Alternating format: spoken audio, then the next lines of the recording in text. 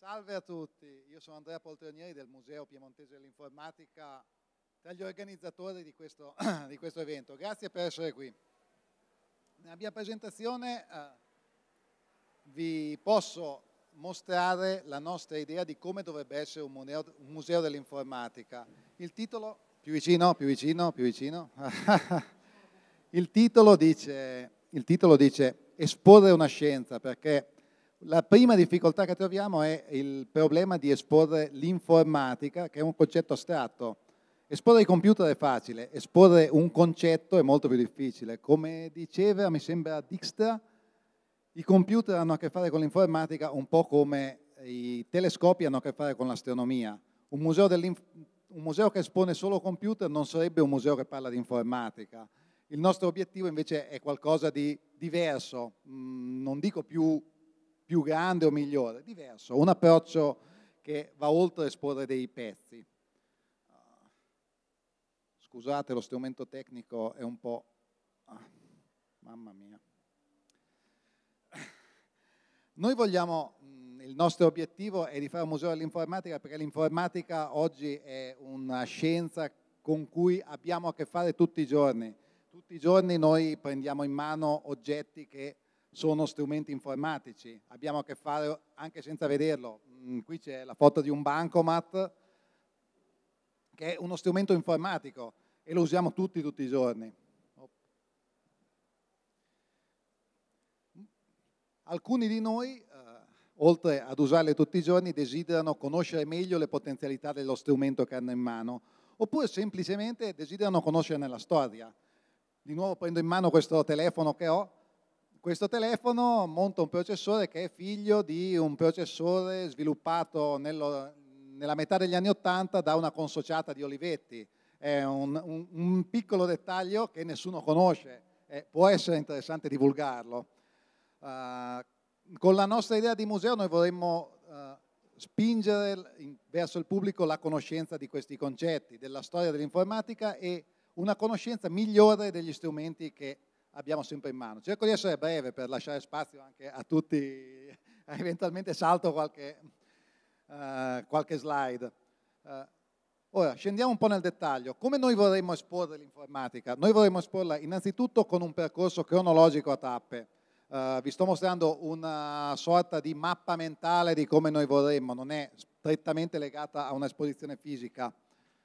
Noi nel nostro futuro museo, quando avremo uno spazio espositivo permanente nostro, riteniamo di dover esporre ehm, la storia dell'informatica appunto con un percorso a tappe, quindi scegliere dei momenti uh, topici, in questa slide sono scelti dei momenti in maniera assolutamente arbitraria, eh, che qualunque esperto di informatica potrà dire no, quel particolare oggetto non è così importante, ma avresti dovuto mettere qualcos'altro. È arbitraria.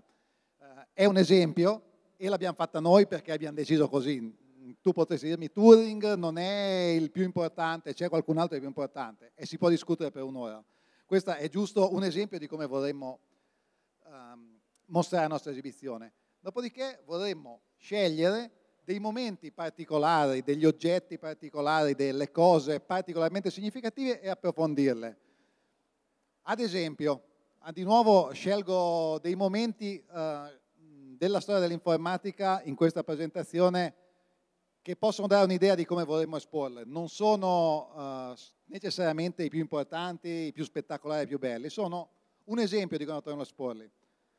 Qui abbiamo un'idea di un approfondimento che vorremmo mettere nel nostro museo che è uh, l'epoca della seconda guerra mondiale, il titolo è la guerra delle informazioni. Durante la seconda guerra mondiale, oltre a cannoni, carri armati e sommergibili, sono stati usati anche strumenti informatici per farsi la guerra, c'è tutto il grande tema della crittografia che è stato uh, approfondito, è stato approfondito, è stato superficialmente trattato nel film di qualche anno fa che mostrava la vita di Alan Turing.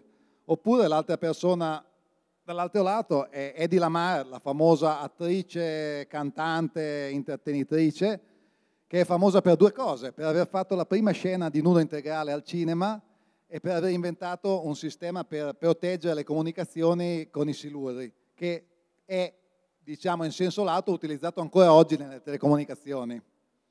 Ma sto troppo vicino, sto troppo lontano. Un altro esempio di come potrebbe essere eh, organizzato il museo è un approfondimento sulla storia dei videogame. I videogame nascono come un hobby, come un passatempo creato per se stessi da scienziati, da tecnici. Un primo videogame è stato fatto dallo sviluppatore per usarlo se stesso. Qui ne ho scelti tre a caso. Eh? Arriviamo sull'ultimo Zelda che è uh, un gioco che ha un budget di sviluppo più grande di quello che può avere una grande produzione cinematografica. Oggi l'industria dei videogame muove più soldi di quelli che muove l'industria del cinema. Come si è passati da un passatempo per hobbisti per se stessi alla più grande industria del mondo, o una tra le più grandi? È interessante scoprire come, noi vorremmo mostrarlo. Un altro approfondimento che può essere può essere, eh, che a noi è di particolare interesse. Il primo personal computer, cioè il primo computer pensato e costruito per essere usato da una singola persona, è nato alla Olivetti e ce n'è uno esposto là e un altro di là in questo momento. Questo è un approfondimento che merita di essere fatto, non tutti lo sanno. Oggi eh, se ne parla un po', però è un tema abbastanza misconosciuto, si conoscono abbastanza bene i personal computer degli anni 70, ma non certo l'Olivetti 101. Un altro approfondimento più eh, antropologico che non tecnico.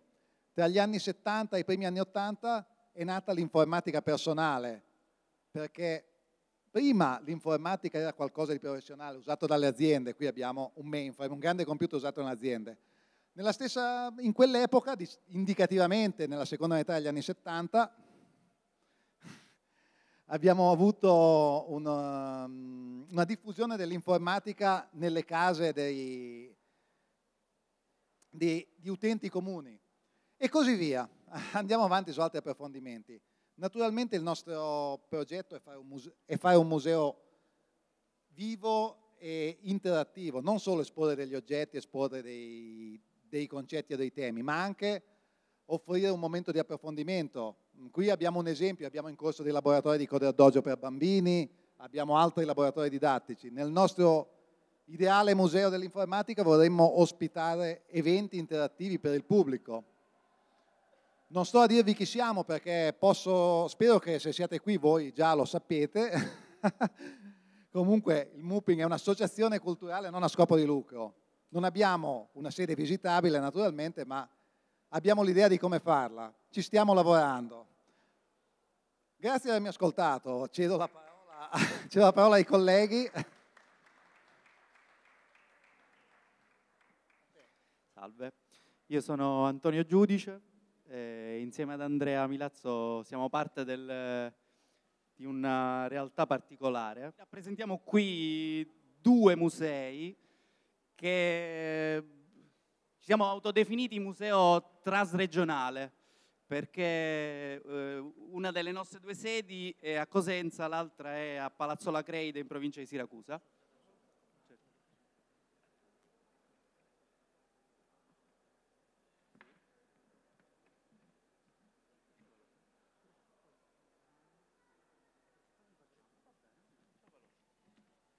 E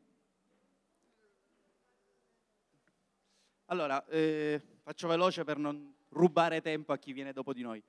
Allora, eh, ci definiamo museo trasregionale proprio perché non so se siamo i primi in questo senso, ma penso sia più interessante l'approccio che, che il fatto di essere i primi o meno in questo senso.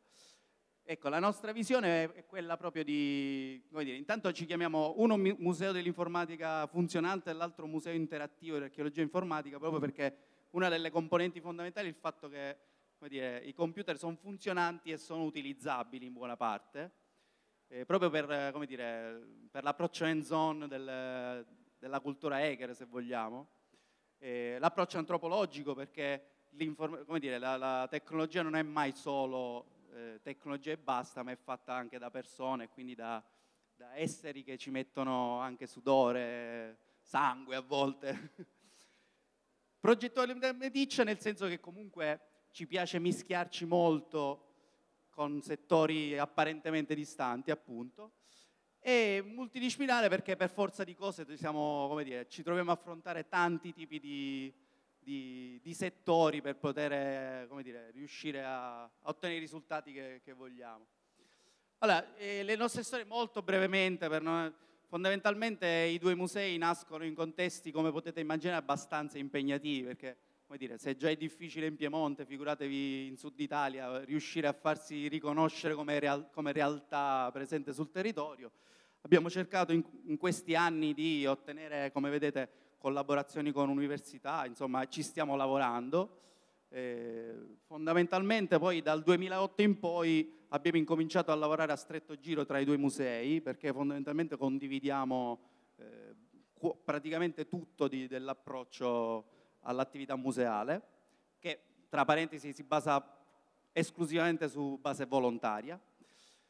Eh, il Musif in particolare poi come dire, ha ha un po' di, di, attività alle spalle. Abbiamo iniziato abbastanza presto con quest'idea del, del museo. Le prime raccolte di hardware sono cominciate addirittura all'inizio degli anni 90. Eh, vabbè, andiamo avanti, non andiamo nei dettagli della storia. Per darvi un'idea di quello che è il patrimonio museale dei due musei. Eh, a Cosenza abbiamo, ecco, per dare i numeri, come diceva prima di me, allora, per dare un po' dei numeri, abbiamo, queste sono più o meno le cifre dei, dei, delle cose che abbiamo raccolto in questi anni. Eh, più o meno perché? Perché ovviamente dire, non, è, non, è, facile dare delle stime precise di, di tutto quello che siamo riusciti a accumulare. E il lavoro di restauro e recupero è sempre dire, un work in progress, ovviamente. Eh, ovviamente, come vedete, aspetta, torno un attimo.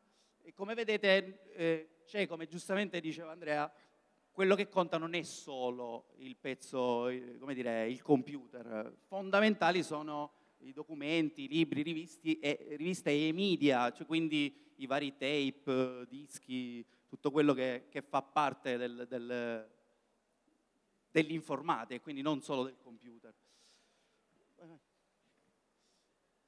Allora, per farvi, vabbè, qui c'è un, un, po' un elenco di, di cose che abbiamo, di, di, pezzi particolari, tra cui vi faccio notare, abbiamo ricostruito noi un Apple 1, perché ci siamo detti a un certo punto sarebbe bello averlo, peccato che costa veramente tanto, e quindi abbiamo detto perché non riprodurne uno. Sì, sì. No, no, ma dica, figurati, tranquillo, chiudiamo velocemente. Va bene, eh, vabbè, qui un po' di, di cose esempio, questo è un esempio di recupero che abbiamo fatto all'Università di Catania, un vecchio Unisys. Eh, sì, comunque, per farvi capire, queste sono un po' le attività che facciamo. Facciamo mostre temporanee, eventi artistici, restauri e ricostruzioni eh, e facciamo recupero di dati dai media obsoleti.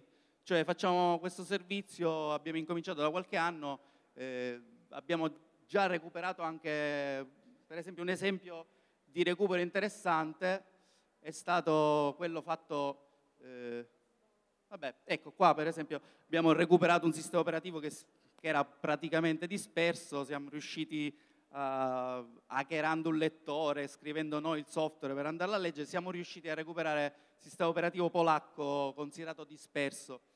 Eh, torna un attimo indietro per favore un paio di, di slide. No, eh, questa qui, esatto. Ecco, queste sono più o meno le problemi, per, farti, per farvi solo capire velocemente che cosa, che cosa affrontiamo quando andiamo a fare un restauro. Questo è come abbiamo trovato questo Saga Fox in un pollaio, si, si capisce di che cosa è ricoperto. Eh, dopo il nostro intervento siamo riusciti a farlo funzionare, giusto per darvi solo un'idea di che cos'è il nostro restauro. Eh, cosa dire? Grazie di, dell'attenzione. Grazie a tutti, scusate se mi sono dilungato sulla mia presentazione rubando un po' di spazio agli amici, uh, so, mi sono fatto trascinare. Grazie a tutti.